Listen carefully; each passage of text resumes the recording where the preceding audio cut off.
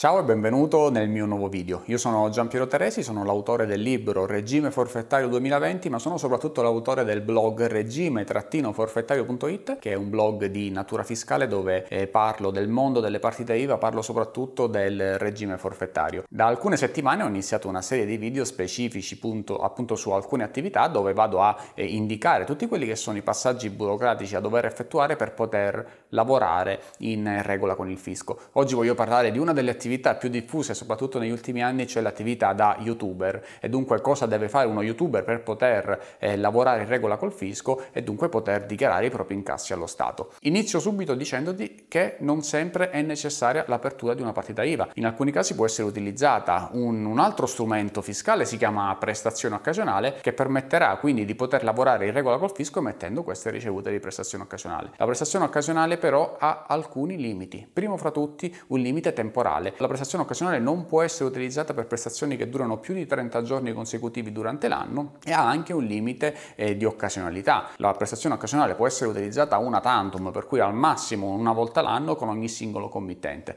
Se deciderai di lavorare più volte l'anno con lo stesso committente non potrai più utilizzarla, sarai quindi obbligato all'apertura di una partita IVA. Una terza, un terzo limite, secondo me quello più importante, è vietato pubblicizzarsi. Chi utilizza la prestazione occasionale non può pubblicizzare in alcun modo la propria attività, non potrà potrà quindi avere un bigliettino da visita, non potrà avere dei volantini, non potrà avere un proprio sito personale, non potrà avere una pagina Facebook che pubblicizzi appunto la propria attività. Però se dovessi in ogni caso rientrare all'interno di questi parametri, di questi limiti, ti sarà consentito utilizzare la prestazione occasionale. In questo caso dovrai rilasciare una ricevuta di prestazione occasionale. La ricevuta di prestazione occasionale è un modello che potrai trovare facilmente su internet o se dovessi averne bisogno potrei richiederlo anche a me. È molto simile alla fattura, però al posto di inserire la tua partita IVA andrà a indicare semplicemente quello che è il tuo codice fiscale. All'interno della prestazione occasionale sarà presente la ritenuta d'acconto del 20%.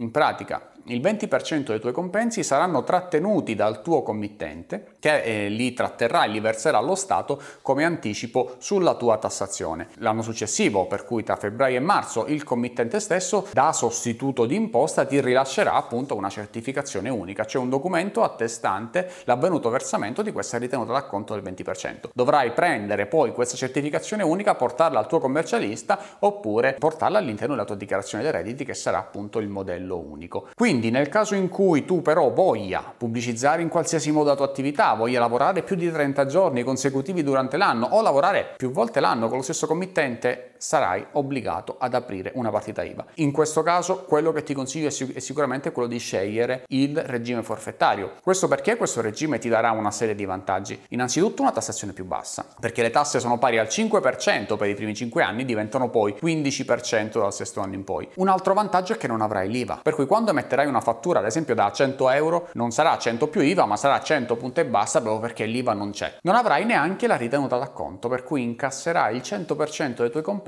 senza alcun tipo di trattenuta. Avrai un limite di fatturato da rispettare che dal 2019 è stato innalzato a 65.000 euro annuali. Se un giorno dovessi superare questo limite, poi uscirai fuori dal 1 gennaio dell'anno successivo dal regime forfettario. Oltre alle tue tasse dovrai anche provvedere al versamento dei tuoi contributi previdenziali. Tutti coloro che sono dei liberi professionisti, come ad esempio uno youtuber, ma che non ha un albo di appartenenza, allora deve versare i propri contributi previdenziali alla cosiddetta gestione separata INPS. La gestione separata INPS ha una percentuale che è pari al 25,72%, ma ha la fortuna di non prevedere alcun costo fisso minimale da versare. Immagina che se tu fossi stato un commerciante o un artigiano avresti dovuto versare una quota fissa di contributi INPS pari a circa 3.600 euro annuali, anche se non fatturavi nulla. Nella gestione separata non sarà così, quindi se fatturerai pagherai una quota di tasse e una quota di contributi, se non dovessi fatturare nulla non avrai nulla da pagare. Spiegato adesso il funzionamento delle tasse dei contributi previdenziali, possiamo provare a fare una stima di quante tasse e di quanti contributi dovrà pagare uno youtuber. Ipotizziamo adesso ad esempio che tu dovessi fatturare in un anno 10.000 euro. Di questi 10.000 euro non tutti saranno tassati, ma soltanto il 78%.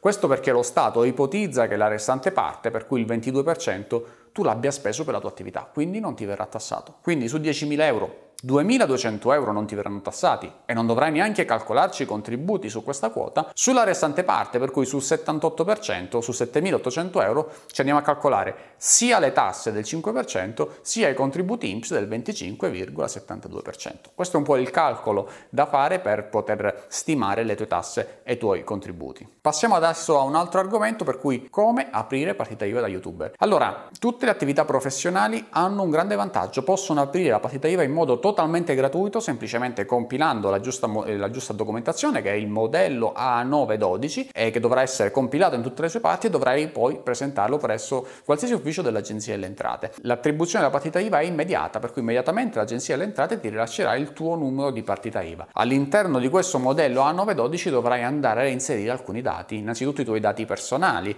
per cui i tuoi dati fiscali e di residenza, la tua sede dell'attività, che attenzione potrà essere anche la tua residenza o il tuo domicilio, poi dovrai andare a scegliere il tuo regime fiscale, ti ho parlato del regime forfettario, ma esistono anche il regime ordinario semplificato da prendere in considerazione e poi dovrai andare a inserire il tuo codice ATECO. Il codice ATECO non è altro che un codice da 6 cifre che eh, specifica e descrive l'attività che vorrai andare a sviluppare. Nel caso dello youtuber, il codice ATECO da andare a inserire nel modello 912 è il codice 73.11.02. Ok, adesso passiamo invece all'ultimo argomento, cioè Cosa posso fare per te? Come ti ho già detto, io sono specializzato nel regime forfettario, ho sviluppato questo servizio di contabilità completamente online per tutti coloro che sono liberi professionisti e che vogliono aprire una partita IVA in questo particolare regime di vantaggio. Il mio servizio ha una tariffa che è di 39 euro al mese, già comprensivi di IVA, e io mi occupo di tutto. Mi occupo dell'apertura della partita IVA, mi occupo della gestione della contabilità, mi occupo dell'invio della dichiarazione dei redditi, che è il passaggio più importante, e offro a tutti i miei clienti un'assistenza eh, telefonica 300 365 giorni l'anno tramite il mio numero di telefono personale. Al contrario di tutti i commercialisti classici che di solito si occupano di svariate materie come di regime ordinario, regime semplificato, contabilità di aziende, di società, di SRL, di diritto del lavoro, di diritto tributario, io ho deciso di specializzarmi assolutamente esclusivamente sul regime forfettario. Tramite il mio servizio faccio tutto quello che fa di solito un commercialista, ma lo faccio completamente online e non sarà mai necessaria la tua presenza fisica. Come primo passo quindi quindi aprirò la tua partita IVA, dopodiché ti insegnerò ad emettere le tue fatture. Ti fornirò quindi un prospetto in Excel che servirà ad emettere tutte le fatture nel forfettario, le prime le compileremo insieme e ti farò vedere come fare. Dopodiché ci sentiremo una volta al mese per aggiornare tutta la contabilità. Mi invierai quindi via mail le tue fatture messe, eventuali acquisti e io porterò tutto in contabilità. E infine una volta l'anno, tra maggio e giugno, invierò la tua dichiarazione dei redditi. Da lì verrà fuori quello che è il calcolo delle tasse e dei contributi previdenziali e quindi ti invierò i modelli F 24 già precompilati per poter pagare le tue tasse e i tuoi contributi. Questa è un po' la routine che svilupperemo ogni anno. Se dovessi avere qualsiasi altro dubbio sul regime forfettario o sul funzionamento del mio servizio di contabilità, il mio sito lo conosci, si chiama www.regime